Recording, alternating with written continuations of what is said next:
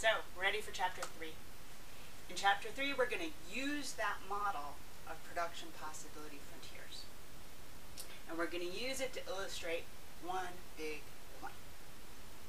The big point is that whoever has lower marginal cost of production should produce a product.